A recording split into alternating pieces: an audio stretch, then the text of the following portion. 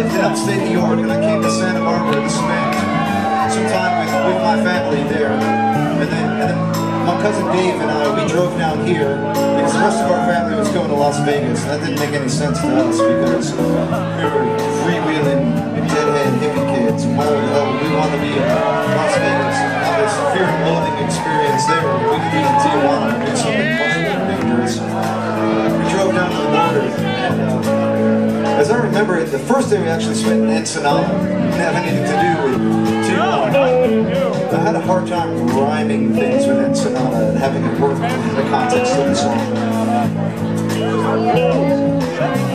So the way it worked, but I mean, really, the whole thing kind of ended up happening this way. Really.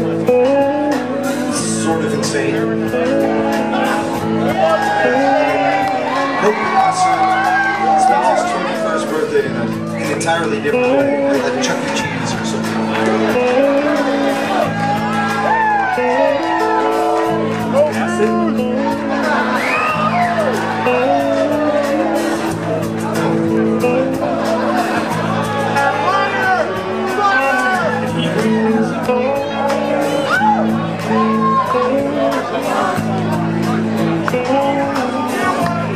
Oh.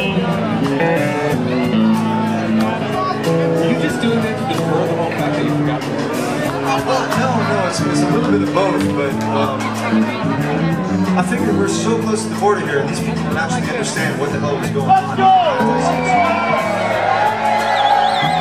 rather actually just explain what happened.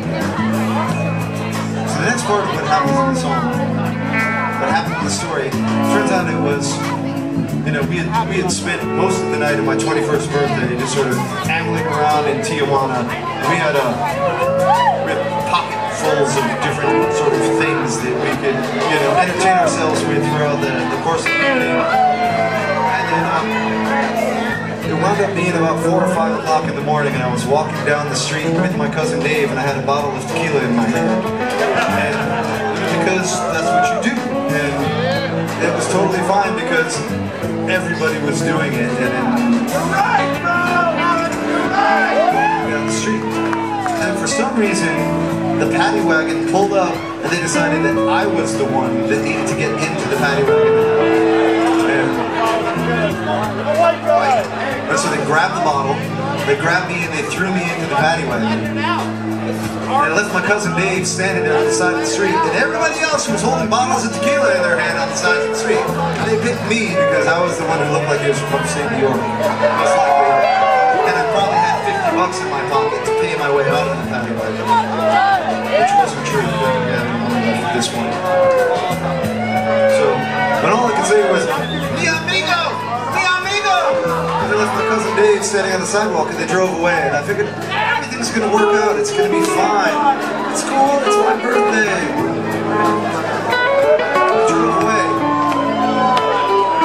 And it wasn't until about an hour later after they had gone around and picked up a bunch of other drunks, most of whom were Mexican, and then there was me, we were all smoking cigarettes and some of them were singing songs. They were all speaking Spanish. I had no clue what the fuck was going on. And I realized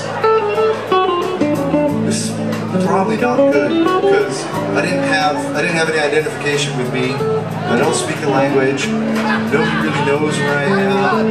Now it's 5:30 in the morning. The, the gloaming was starting to happen, or it was starting to get sort of light out. And we're just like, you're totally fucked.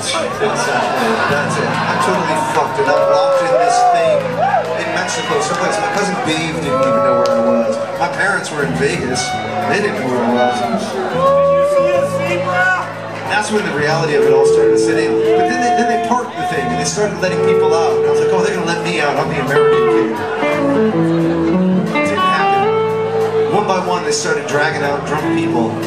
And, and then, it, then it came down to me and the dude who was passed out in his own puke. And I was like, so certainly I'm the next guy because they're not taking that guy out. Opened up the door, they dragged out that guy, and then they left me there by myself. And now it's like 6.30 in the morning and it's sunny and hot in there. It's like,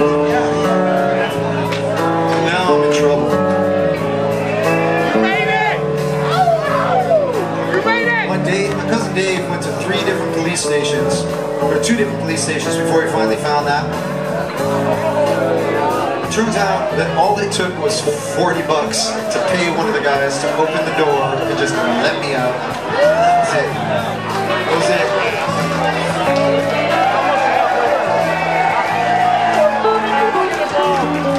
And then like five dollars later, we both had both had some huevos rancheros and another Corona, and we eventually went to bed.